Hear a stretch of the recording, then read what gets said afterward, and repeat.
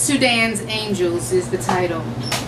The name of this poem for my father, sung and dance man for my father.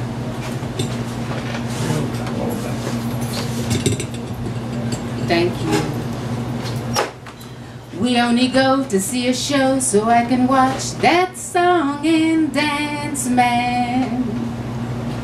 Daddy sang those words for 40 years.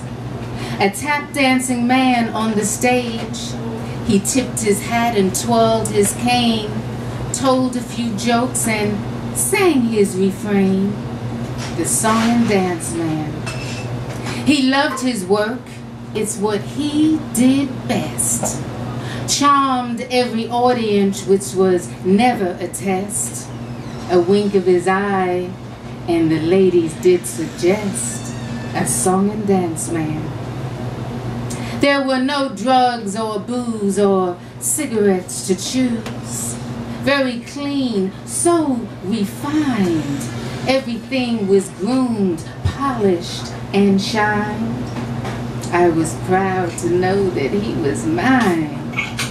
Oh, his extraordinary life. Meeting with the queen, singing in Japanese, going to the Fiji island was daddy's extreme African cuisine for the song and dance man. Mr. Entertainer and the cabaret shows Feathered hats on doll faces made him all aglow. Pretty skirts and sassy smiles, how show business turned its dial. And their hearts were always to a song and dance man. Yet as the days and years went by, age crept in. He took one deep breath holding the hand of the angel of death. There were no whispers, no shouts. Sometimes promises, sometimes there were doubts. I saw him in my head, the charm he spread. And if you listen, you will hear tap dancing feet in your ears.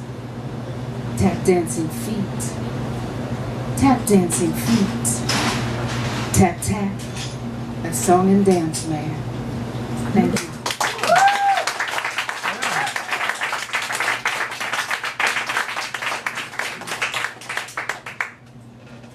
Thank you. If I can just get this page. This is a love poem It's called on Wednesday.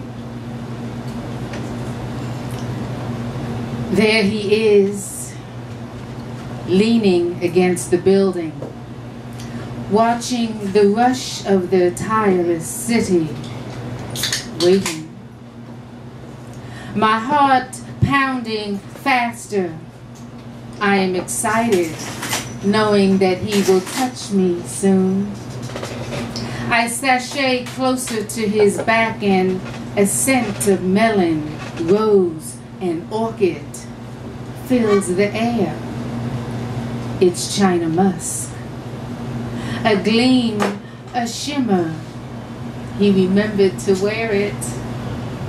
He kisses my cheek and we walk, exchanging glances and sentiments that soften the soul escaping into an evening still sunlit. Thank you.